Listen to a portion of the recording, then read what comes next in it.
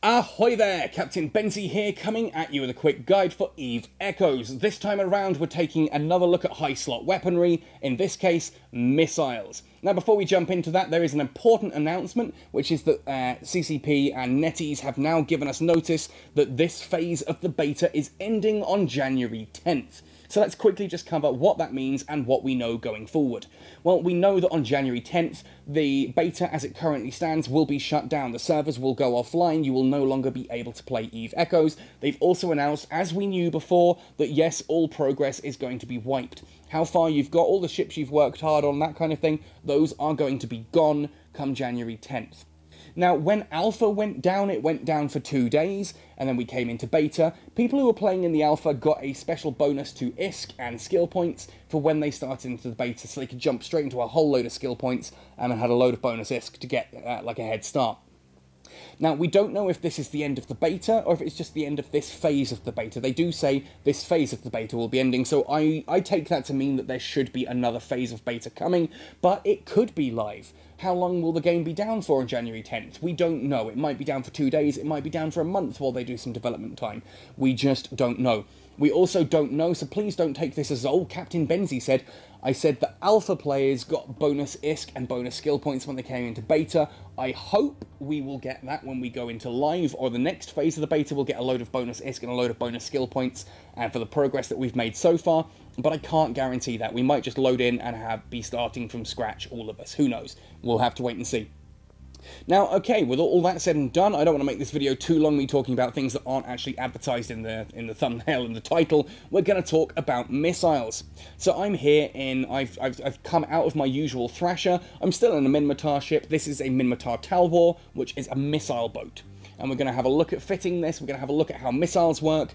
Um, I do recommend pausing this video and going and watching my blowing things up for fun and profit video if you haven't already, just because that talks about how turrets work. And as I talk about how missiles work, I'm going to be like I'm going to be analysing that alongside how turrets work. I'm going to be comparing it to how turrets work, so it is important you understand how different turrets work. But anyway, before we dump, uh, jump in, it's worth just quickly pointing out that when I say missiles, I mean anything on this list. So let's have a look at what qualifies as a missile. Anything that is a light missile, a rocket, a rapid light missile, a heavy missile, a heavy assault missile, a rapid heavy missile, a cruise missile, or a torpedo counts as a missile. If we're talking about torpedoes, we're still talking about missiles. If we're talking about rockets, we're still talking about missiles. An important point to note, though, is that there is a difference between a light missile and a rapid light missile. There is a difference between a heavy missile and a heavy assault missile. A skill that mentions heavy assault missiles will not benefit heavy missiles. Skills that benefit heavy missiles won't benefit heavy assault missiles. Cool, we clear on that? Good, let's jump right in to looking at the Talwar. I like my destroyers. Destroyers are a lot of fun. I'm skilled heavily into destroyers. I like how fast they are. I like how quick you can move around. Yeah, they can be a bit fragile compared to cruisers, etc. But anyway, let's have a look at this particular one. Now, if we open up the info page for the Talwar, you'll see it's a destroyer, three high slots, two medium slots, four low slots, three uh, power grid, and three defensive rigs. Um, thanks to the recent patch that recent uh, that massively buffed destroyers tier three and higher. Now, don't ask what a polarizer module is, I don't honestly know. If someone wants to jump into the comment section down below and tell me what an idiot I am for not understanding that, we'll go ahead. And special mode assault, we'll cover that later on as well. I do mention it in my drone video, it's not overly important to this, we're focusing on missiles. This particular ship, you can see Destroyer Command give me a bonus to shield, and Small Missile Operation will give me bonus to light missile damage and rocket damage. Again here, light missile damage, anything with the name light missile launcher in it. Rocket damage, anything with the name rocket.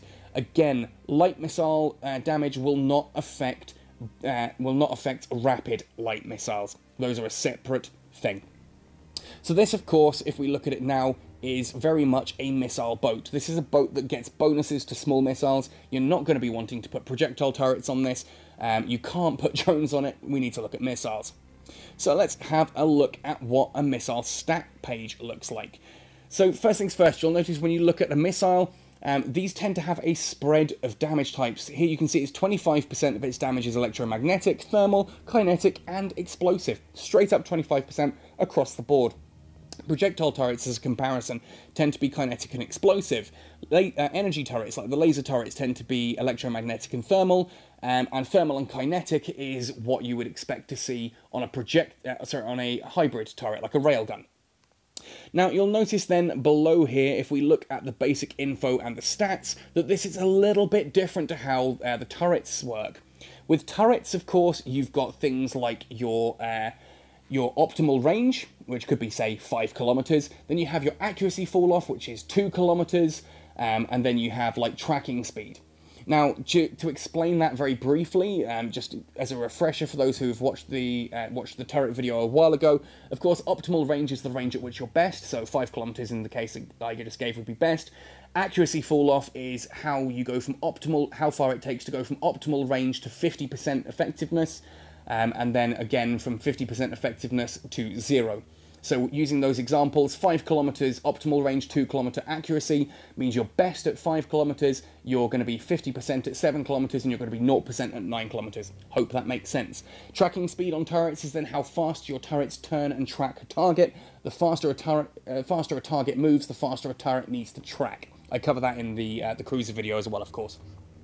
Now you'll notice here that if you look at this rocket launcher, it doesn't have any of that. There is no optimal range, there's no accuracy fall off, there's no tracking speed. Instead we have explosion velocity, explosion radius and missile range. Those are the three that we're going to focus on here. Missile range, don't take it as a set in stone. Basically, missiles track at 100% effectiveness. They will always hit their target as long as the target is within range. In this case, a missile is going to travel 6.91 kilometers before it fades out and fizzles and dies, like a really crappy firework. If your target is within 6.91 kilometers, your missile will hit. There's no two ways about it, it will connect. However, missiles have what's called application. Rather than turrets which kind of graze or you know, hit or penetrate and that kind of thing, depending on your accuracy, depending on target movement speed, that kind of thing. Missiles are a little bit trickier. That's what's covered here by explosion velocity and explosion radius. To explain how this works, if we just quickly jump back into the uh, Talwar info page, you'll see at the bottom that a Talwar has a signature radius of 60 meters. Ultimately, the way to think of this is that the shape of your ship in Eve doesn't actually matter. So the fact that a Stabber cruiser is long and thin compared to a Rupture which is short and fat, neither of those are easier targets based on what they look like, it's purely the signature radius. At sort of the game engine level, ships in Eve are little spheres floating through space. So a Talwar is a sphere of 60 meters radius floating through space, and that's how you know how hard or easy it is to hit. And if we look at then things like uh, its flight velocity, a flight velocity of a Talwar is 255 meters per second. That means its maximum speed ultimately is going to be that in orbit, and your relative speed, yada yada yada yada yada. You get my picture. You get the drift. Now, if we look at explosion velocity and explosion radius, explosion radius is naturally, as you'd expect, the size of the explosion. Explosion velocity is how quickly the explosion spreads to cover that full explosion radius. And what this essentially means, this is all to do with damage application. Obviously, the better a, missile applies, the higher the damage, the lower it applies, the lower the damage. This means that, for example, the explosion radius, if you, your explosion radius is bigger than your target ship, then it does less damage. If you've got an explosion radius, so if we go back to that Talwar, the, expl- uh, the signature radius of the Talwar is 60 meters. An explosion radius larger than 60 meters is going to do less damage to a Talwar because the Talwar essentially is fly- it's a small ship flying through a big explosion. It, just the explosion does less to it. The smaller the explosion radius, the bigger the damage is going to be in effect. Then you have explosion velocity. As I said, that's how quickly the, the sphere of explosion fills out, how quickly it hits maximum range. Now, uh, its maximum size, sorry. Now, essentially, this means that obviously the faster the explosion velocity, the better it is against a fast moving target. If you've got a target moving at, say, 300 meters per second, and your explosion is only 150 meters per second, that means theoretically the ship that you are firing at is going to get away from the explosion. It's actually going to outrun the explosion. That becomes a problem. To explain how this essentially works, if you imagine that when I fire from my ship at one side to your ship at the other side, the missiles will always track, and as long as the missile's distance that it's traveling is within that 6.91 kilometers, it will hit. As soon as the missile hits the edge of your signature radius, it will explode. You don't really hit the ship, you kind of explode near it. So if I'm firing another Talwar, which we've said has a 60 meters uh, radius their signature radius, so I've gone past it, 60 meters signature radius. Here the explosion radius is 18 meters. That means once the once the rocket gets within sort of that 18 to 60 meters radius, it explodes. That 150 meters per second is how fast the explosion spreads outwards, and as long as the Talwar isn't going considerably faster than the 150 meters per second, it will take some damage from the explosion. If the Talwar's moving at 300 meters per second, it's going to outrun the explosion. If the Talwar was only, say, one meter, like it's a drone or something that's maybe five meters um, in signature radius, then the explosion radius is too big and it's going to do less damage. Now you'll find that with small rockets like this, obviously they're going to have a very fast explosion velocity and a very small explosion radius. That means they're going to do maximum damage against most things. Meaning, obviously, if I shoot against a cruiser, or I shoot against a battleship, something that's slow moving and large, these are going to do their maximum damage every single time. The problem is that obviously they're only small rockets, so they're not actually going to do all that much damage. If we flick across to the market and have a look at some of the other missiles on sale, um, or just look at their stats at least, some of the higher uh, power ones, you'll see what I mean by sort of um, by comparison. So if I go up to say heavy missile launches here, and we look again, I've been use, looking the Republic fleet, so we'll look at Republic fleet here. And you see here the explosion velocity, rather than 150 meters per second, is only 81 meters per second, which means that other ships are going to be able to outrun that quite effectively. The explosion radius of 140 uh, meters, that explosion radius of 140 meters means that that explosion radius is going to be bigger than my Talwar. My Talwar, therefore, is going to take less damage from uh, a Republic fleet heavy missile launcher simply because it's a big explosion with a small ship going through it you just don't get hit by as much of the explosion as a larger percentage of the explosion, so it's lower damage. The explosion velocity of 81 meters per second, if my Talwar's doing 225 meters per second, then I'm going to outrun the explosion and not take much in the way of damage. I hope that kind of explains what I mean by application. Um, obviously, you can see that against a slower moving, larger ship, um, that a Republic fleet heavy missile launcher is going to do significantly more damage than a rocket is going to do, um, but obviously that it's going to struggle to hit a smaller, faster moving target, which is why then um, we're going to talk briefly about rapid light missile launches. Now, I'm not going to say too much on this. Um, I know he and I had a little bit of a spat a couple of days ago. I, we've sorted all that, we've apologised and worked out our differences. Excoundrel is also making Eve Echoes content. Should be a link on screen now as I mention his name. Go watch some of his videos, especially the ones where he is going doing high level nullsec anomalies, combat anomalies, using a Caracal outfitted with rapid light missile launchers. Rapid light missiles, as you can see, these are medium. You put don't put these on a destroyer. You put these onto a cruiser.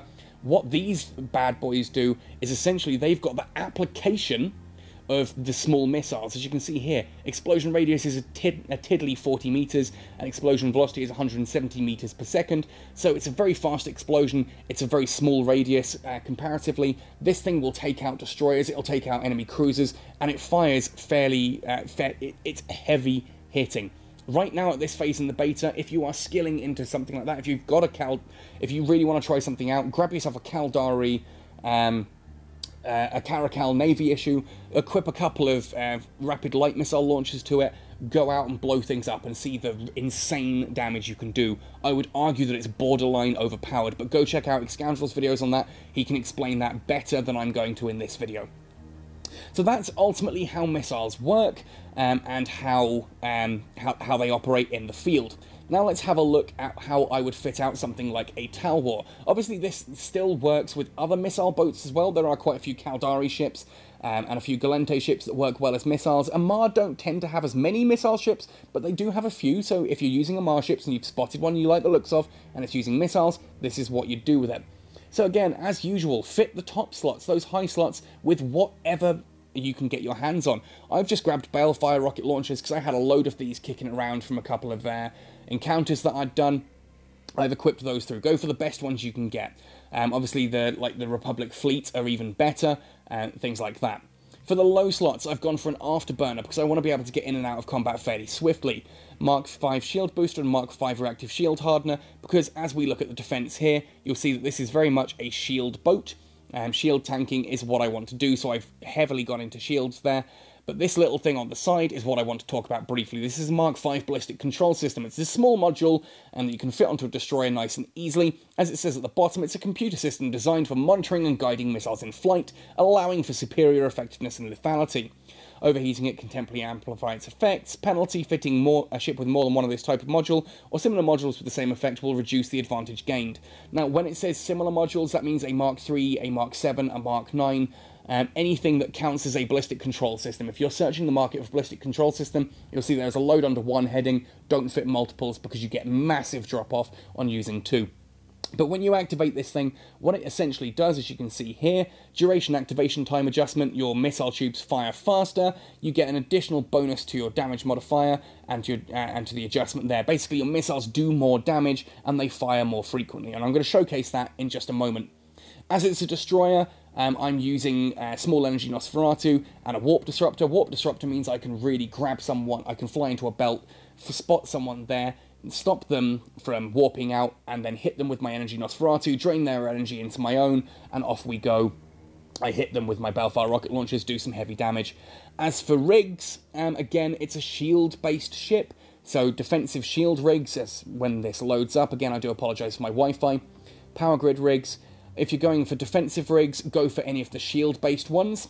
For weapon rigs, obviously we can close down hybrid weapon rigs, we're not going to be looking at those. Wow, my internet is terrible today. Bye bye hybrid weapon rigs. Close those down. Energy weapon rigs we can shut down as well if we keep going beyond those. Projectile weapon rigs. Here we go. We have missile launcher rigs. So warhead flare catalysts give you a bonus to explosion velocity. Again, that means you're going to be able to apply your rockets or missiles better against faster moving ships.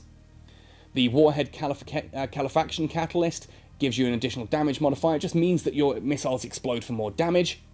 The Warhead Rigor Catalyst um, reduces the explosion radius, again, better for hitting small ships. The Fuel Cache Partition um, gives you explosion delay bonus, so you just don't you get further into the enemy's signature before it explodes.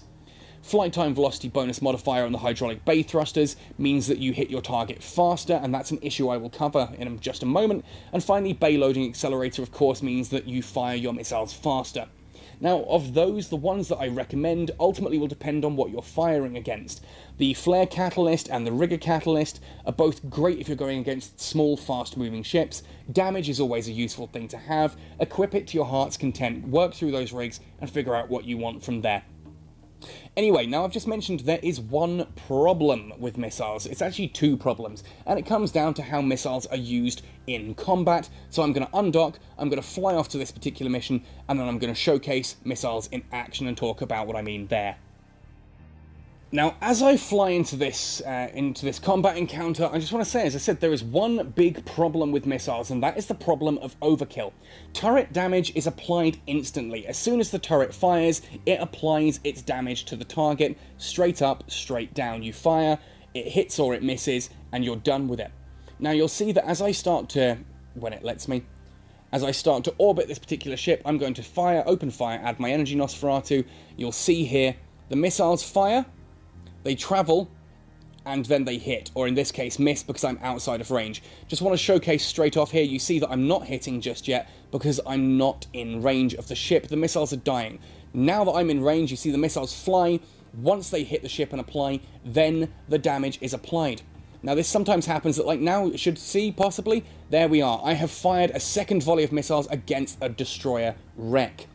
Because if the distance is far enough between you and your target, ultimately you kind of you fire your you fire your rockets and while they're flying to the target you fire your next bout of rockets. If the ship is destroyed between those bouts you've wasted a bout of rockets. And in a situation like here you can see i've got five enemy ships against me. Um, i am going to lock on with all of these uh, start using the shields and i'm going to put that drone uh, sorry, drone damage amplifier the missile ballistic control system on you'll see that here there is every possibility of me overkilling a target. As I'm going round, you'll see that here, off those missiles go. They hit their target at a bit of distance, out of range, so now they're actually going to start hitting and doing damage. There we go. You'll see they've hit. My next one's fire. They hit. My next one's fire. My next ones have actually fired onto a target that is already destroyed. You saw that? That's the target is already destroyed, but I wasted an extra volley. That's a volley that could have been going up against the next ship that I'm firing at, but it's wasted. That means I'm in combat longer. I'm taking damage for longer. That can be a problem with rockets and missiles, so that is something that you do want to just pay attention to. Be aware that rockets and missiles, compared to turrets, often do overkill. Now, with something like the rapid light missile launches, the rapid launches, they ultimately hit with the damage of their current thing. So, uh, rapid light are a medium uh, type of launcher.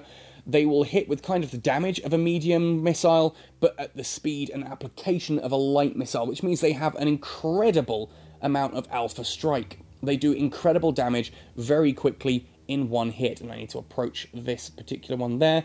Let's move in on that destroyer wreck and loot that as well. So do just be aware that yes, um, overkill is a thing when it comes to missiles. You'll need to just consider that as a as something just to be aware of. It's not usually a huge issue, but if you need to hit something quickly and get away, um, be aware that if you don't kill it, you may end up doing overkill. If, like, your missile's going to do, say, 100 damage and your target's only got 5 left, you fire your first bout of missiles, um, that just before they hit the target, you hit your second bout of missiles goes, the target takes 100 damage and is destroyed, the second load of missiles hits and are wasted and could have been doing something else. But anyway, that's ultimately the only negative really to missiles. Right now, as I said in the beta, they are a little bit overpowered. Um, so very, very great to have on something like a Caracal. Now before we wrap this up, of course, I'm going to talk about skills. If we come into our weapon technology tree and into missiles, you'll see small missile operation. Of course, this is going to be the most important one to start with, straight up and down. Once this is, get this to at least level 4, um, then move into uh, the small missile upgrades, get that to level 4, um, follow that 80-20 rule. I go small missile operation 4, small missile upgrade 4, then missile operation 5, then advanced small missile operation 4, then I'll get the missile upgrade as well. The reason I suggest that order, small missile operation, straight up at level 5, you can see that is 20% uh, missile damage, 20% velocity, and 20% flight time. Your missiles are longer range and they deal more damage. At level 4, that's 16, 15, and 10. That final level takes a long time to level up, or a lot of skill points if you've got the bonus spares, just for a, a case of 4, uh, 4% missile damage, 5% velocity, um, and 10% time. It's very worth getting, but get at least to the 4 first. Small missile upgrade, on the other hand, you'll see that ultimately what this does is give you additional damage and reduces the explosion radius, meaning that you hit uh, faster, uh, sorry, smaller targets better. This is, means it's better for hitting small targets. Um, the small missile operation makes it better for hitting uh, range and just maximum damage. So small missile upgrade, ultimately I've gone into it for the damage um, and for hitting far, uh, smaller, faster moving targets, but you may decide just to go straight in for the damage. Now you see as well that obviously if we look at medium missile damage and that here, it's the same kind of thing. So if you're going into a Caracal, you're going to want medium missile operation, advanced missile, expert missile, that kind of thing. Medium missile upgrade again, just for the explosion radius. If you find you're going up against a lot of destroyers, medium missile upgrade is going to be important just because you want to be able to hit those larger targets, um, uh, those smaller targets, sorry. And that's that. Now, just to show you quickly, as I've said, go watch Scoundrel's video for the main info on this, but if we jump into the ship tree, go to Caldari, and then across to the side here, you'll see that these are like the Caracals. Caracal trainer is all right. It's not overly great. It's a decent enough start, but it's quickly outclassified by the Caracal once you have the medium missile operation skills uh, going there. Medium missile damage, medium missile flight time, um, then again, the Caracal Navy issue. This is the real meaty one. 10% medium missile damage, 10% medium missile flight time. Don't worry about the scan resolution or uh, sensor strength, not overly important, but you've got four high slots there. Those four high slots you want to put on a rapid light missile launcher. Why do I say a rapid light missile launcher? Yes, the skill applies. There we are medium missile damage applies to Mark 7 Rapid Light Missile. Of course, it'll apply to the lower marks as well, but Rapid Light Missile launches are affected by that skill, meaning that they hit ridiculously hard um, and will hit slow uh, the small targets as well. So they are great for going out into anomalies where you're up against other cruisers and up against uh, small destroyers and frigates because they can do massive damage to both of those. And being a cruiser, you're nice and survivable. Anyway, that really does just about wrap up everything that I wanted to cover in this missile tutorial. I'm here drifting in space. It's 0.5, so I should be safe, but I still don't like it as a practice, so I'm gonna switch off everything and head back to uh, head back to dock now that that's all done. But anyway, I do hope that has been useful as, us- as usual. Let me know in the comment section below what you think. Think if I missed anything. Come find me on Twitter, on Facebook, on Discord, on any of those. Let me know your thoughts. Let me know what you want me to see. I want to see me cover next in a video. Otherwise, happy sailing and see you in New Eden. And go check out Excoundrel.